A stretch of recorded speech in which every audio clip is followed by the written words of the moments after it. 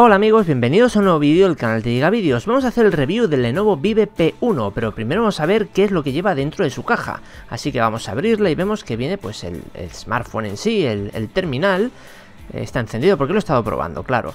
Bueno, aquí el cargador, quiere decir que este smartphone tiene una batería que es uno de los puntos fuertes del, móvil. Bueno, eh, libro de instrucciones, garantías, cable, USB, micro USB para cargar y transferir datos al ordenador y adaptador OTG USB para, pues bueno, que soporta OTG, este, este smartphone. Bueno, vemos que tiene una pantalla de 5,5 megapíxeles, Full HD 1920 x 1080.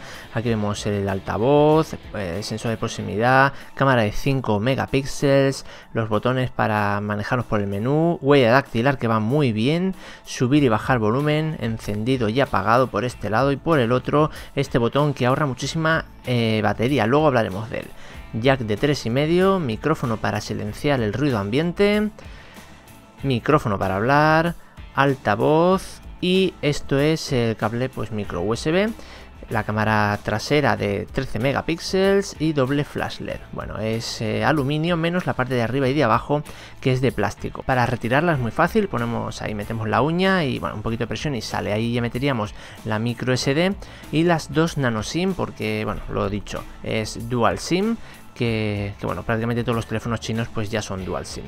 Vale, vamos a ver cómo se desbloquea, pues lo típico con patrón o pin y también con huella dactilar. Decir que la huella dactilar no es súper rápida, pero funciona muy bien y, no falla casi nunca. Viene con la versión 5.1.1 y viene mucha basura, eso sí, aplicaciones chinas que no podemos quitar, eso pues me ha repateado bastante. También en la barra esta de, notificaciones viene mogollón de cosas, hay gente que le gustará, pero a mí personalmente no me ha gustado, punto en contra total.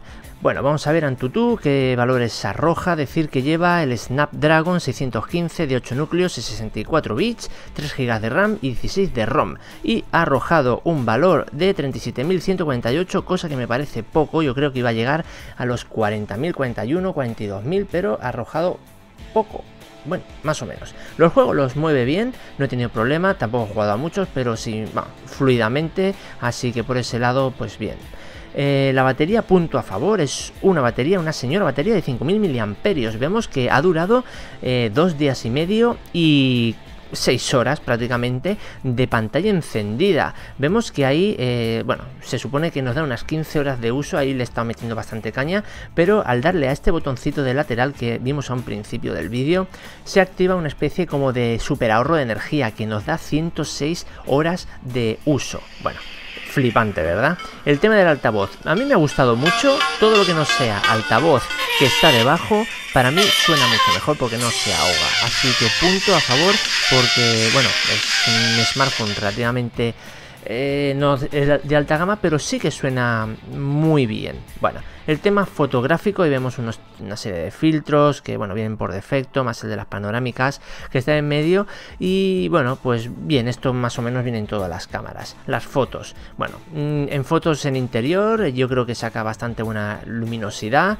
Eh, mete un poquito de ruido, pero bueno, aquí realmente estoy con los focos, o sea que tampoco eh, podemos decir que es baja luminosidad, pero bueno, más o menos bien. Lo que no me ha gustado de todo, bueno, ahí saludos a mi amigo Alex de Experimentar en Casa, es el tema de la saturación del color. Hace una cosa súper rara, de repente se satura, luego no. En los vídeos pasa lo mismo, por ejemplo, esta foto está como un poco apagada, está, está saturada de color. Eh, eso me ha, me ha dejado un poco pues desconcertado. Por el resto bien, ¿eh?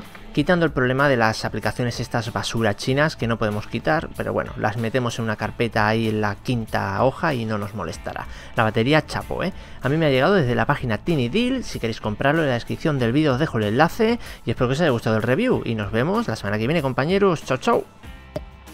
Bueno, y si te ha gustado el vídeo suscríbete, dale a like, comparte y comenta. Si no, pues ya sabes, el ninja irá por ti.